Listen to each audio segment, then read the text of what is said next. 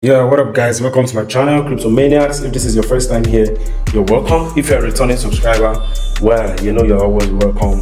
Thank you for coming back. So today I want to show you how to submit your wallet address for Colend token. So the first thing you need to do is actually come here, okay? You can see this wallet icon here, come here. So you go to Colend, make sure you find Colend. Let me show you, go to Colend here, okay? Colend here, and then here Colend, you click on it and when you click on it it's going to say link withdrawal address here.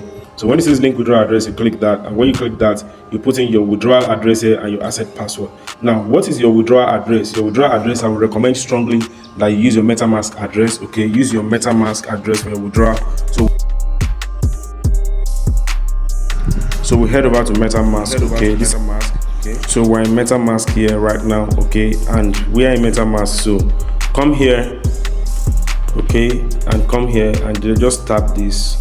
And when you, when you tap this it's going to copy the address see public address copy. Now you take that address back to the satoshi app. So we're back here to the satoshi app and then you put your withdrawal address that you copied you put this here and then you enter your asset password. Yes so, so after entering the asset, asset password, password okay you click Colend link withdrawal address you click this and then it says Colend link withdraw address blah blah blah and then you confirm. Okay? So now that you have confirmed you are going to get an email verification code. So you go and take that email verification code from your email that is already linked to your satoshi app and then you come and paste the verification code here. So let's go and get the verification code right now so this is the email in the verification this is the email. Okay so here we are with the verification code and then we just paste it in.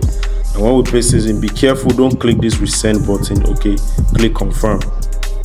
All right so once you are done if you are prompted okay? Now this is the i'm not a robot verification. Once you are prompted make sure you do this verification.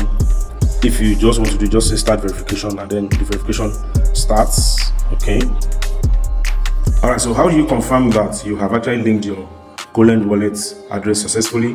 After you have done the verification, you click Colend link withdraw address again, and then it's going to give you this notification that Colend withdraw address link is successfully.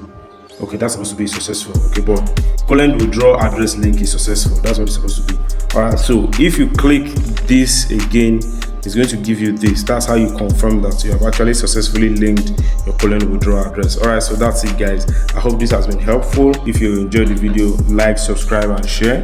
If you have anyone who needs help, um, share the video with them. And uh, that's it for now.